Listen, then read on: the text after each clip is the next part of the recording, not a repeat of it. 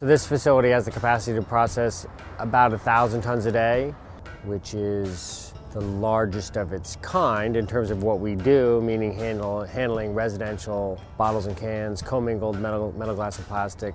Largest facility of that type in the country, if not the world. New Yorkers put a, a sort of, I would say, a broader array of materials in their recycling program than, uh, than most curbside recycling programs. We get everything from Christmas trees to bowling balls and things like that. So what we're trying to do is obviously automate it as much as possible.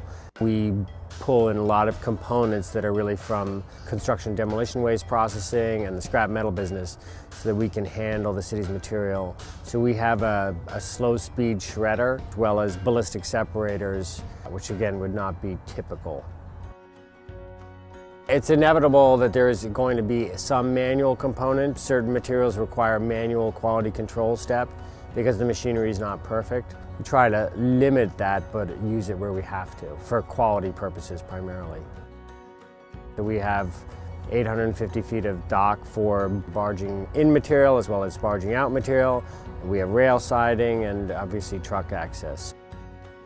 We sell to customers all around the world. They're mostly in North America. Our plastic customers are mostly down south. Steel customers are, you know, in Pennsylvania and Ohio.